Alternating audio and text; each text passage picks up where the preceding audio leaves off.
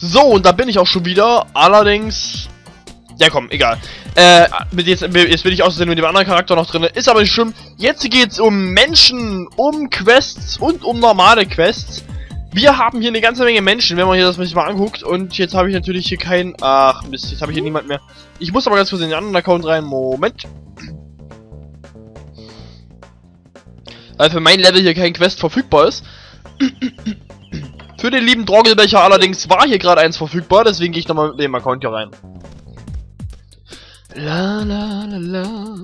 So, raus hier. Und da müsste jetzt eigentlich theoretisch gleich hier einer auftauchen. Mit einer Sprechblase über den Kopf. Genau, den können wir jetzt nämlich anquatschen. Have you already fallen ruined safari? Und der markiert das jetzt auf unserer Karte und wir sehen, da hinten ist auf einmal eine Ruine eingezeichnet für uns. Und wir begeben uns jetzt mal dahin. Also jetzt äh, nicht mit dem Account, sondern nicht hier ein bisschen starken Account. Und zwar aus einem besonderen Grunde. Äh, wir haben... man hat weiße Ruinen, also weiße Quests. Man hat äh, blaue Quests, man hat orangene oder rote Quests. Das sind die vier Schwierigkeitsstufen. Die beschränken sich allerdings auf das Level, was man besitzt. Das heißt, in meinem starken Account ist das jetzt weiß, weil weiß das schwächste ist. Und blau ist das zweitschwächste. Rot ist das stärkste logischerweise. Und darum gehe ich mit meinem großen Account jetzt rein, weil mit dem hier werde ich das jetzt noch nicht schaffen und ich möchte euch jetzt vorführen, wie das funktioniert. Darum bis gleich, gell? So, aus diesen besonderen Umständen, dass es noch ein bisschen was zu erklären gibt, werde ich euch jetzt die Reise hier mit zeigen. Wir reichen jetzt gerade zu dem Punkt hin. Wir gehen jetzt erstmal zum ersten, vielleicht können wir das auch besiegen, ist ja relativ egal, was wir machen, bleibt machen so. Ich schon mal ganz kurz die Biene zu. So, mal ganz kurz. Ihr seht schon, hier habe ich wesentlich mehr Power auf dem Account. So. Und zwar gibt es ähm, verschiedene Orte, an die man reisen kann. Es gibt Pyramiden, es gibt Tempel, es gibt Katakomben. Es gibt allerdings auch einzelne Monster, wie zum Beispiel ähm, Dinosaurier oder Trolle. Habe ich jetzt irgendwas vergessen? Das waren die fünf, glaube ich, die es gibt. Oh, das zum Beispiel, was ich mal erklärt das sind feindliche ähm, Menschen, in dem Fall Untote, die greifen dich dann auch an und von denen kriegst du eine Menge Geld. Und manchmal schuppen die dann noch Tränke. Nerviges Pack. So, okay. Wir reisen weiter und sind auch gleich da. Äh, was wollte ich noch sagen? Ja, es gibt natürlich dann auch noch äh, Unterschiede. Es gibt äh, weiß, blau, gelb, äh, Quatsch, orange und rot, das hatte ich ja schon erzählt.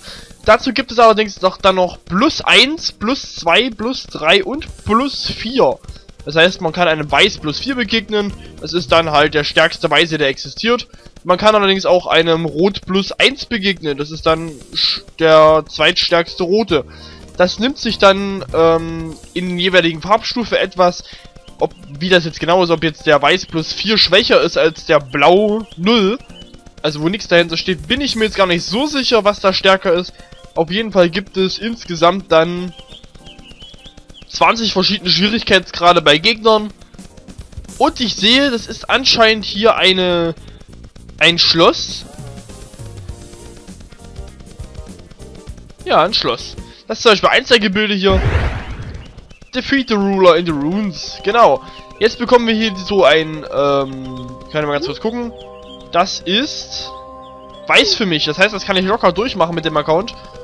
Hoffe ich mal. Ich will jetzt nämlich nicht unbedingt zu doll failen, wenn ich das euch jetzt erkläre. Und dann findet man einen Eingang, den muss man nochmal suchen. Und dann brechen wir da jetzt einfach mal mit der Lampe rein. Und ich zeige euch mal, demonstriere euch das. Ja, okay, gut. Die mache ich locker platt. Das sind ganz schwache für mich.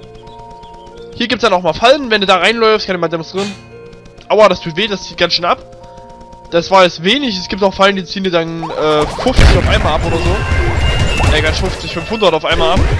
Ich habe auch schon mal eine erlebt, die hat 5000 abgezogen, da warst du dann sofort tot. So, dann findet man hier zum Beispiel auch Schränke. Und da sieht man schon, es steht was drin, eine Lampe. Die kann man sich dann einfach rausnehmen, da, da stand jetzt äh, eine Wasserflasche drin. Und dann gibt es halt, bevor man den eigentlichen Boss erreicht, gibt es hier eine ganze Menge von äh, feindlichen Monstern, die sich hier in den Weg stellen, die du besiegen kannst. Ähm, manchmal sind das also bei normalen sind das eigentlich immer, ähm, also, wie, wie nenne ich das? Du kannst nicht Menschen sagen, also diese NPCs. Im Normalfall sind es immer NPCs.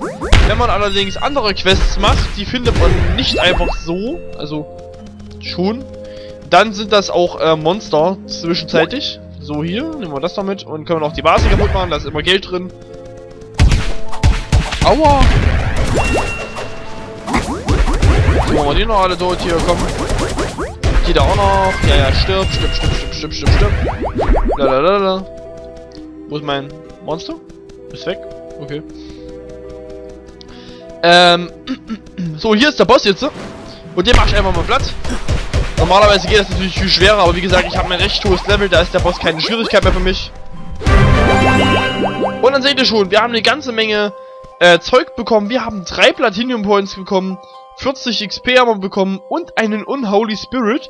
Diese Spirits kriegt man nur von Bossen und die kann man auch, wie ich vorhin in der letzten, vorletzten Folge, äh, ne, vorvorletzte Folge war das, äh, wie ich das da gemacht habe, kann man mit den Spirits halt seine Waffen, äh, seine Waffen verstärken, wie halt mit den Eisenblöcken, die ich da genutzt habe. So, hier geht's nicht lang.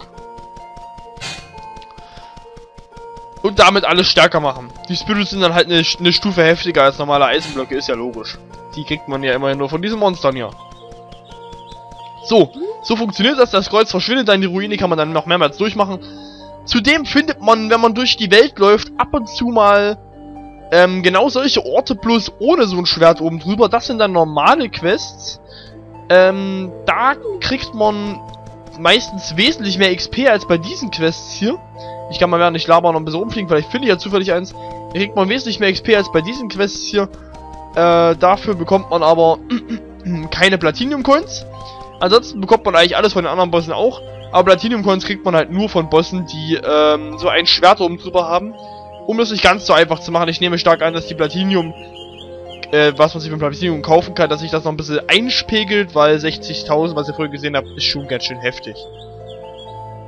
Das kann sich kein Mensch leisten. So. Äh, gibt es dazu noch was zu sagen? Ja, die Questmenschen zeigen euch das dann immer an, ansonsten müsst ihr die Schwerter selbst aufsuchen, wie, wie wir das gerade gemacht haben. Und ich habe wahrscheinlich keinen... Ne, ich finde jetzt wahrscheinlich nicht so schnell keins mehr. Kein richtiges. Na okay, gut. Dann würde ich sagen, bis zum nächsten Mal. Ich hoffe, ich habe alles erklärt. Wenn ihr noch Fragen habt, drunter schreiben oder ein anderes Video anfordern. Kein Ding, mache ich sofort. Also, bis dahin. Tschüss.